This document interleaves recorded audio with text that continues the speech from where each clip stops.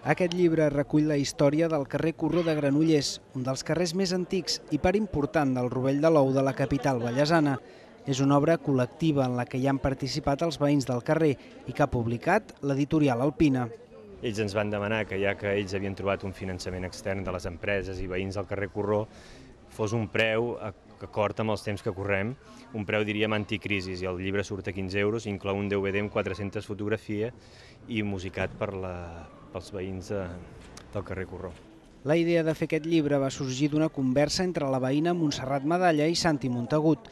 L'escriptor Granollerí espera que el projecte repeteixi altres espais de la ciutat.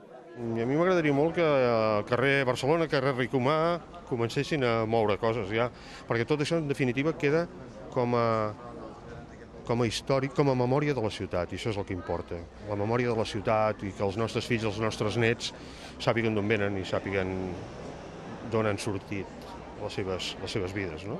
De fet, el llibre només recull la història del tram del carrer entre la sala Sant Francesc i la sala Tarafa.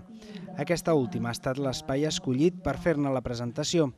En els metres que uneix els dos espais hi ha moltes històries de veïns i persones que hi han estat, per exemple, a l'Escola Municipal de Música.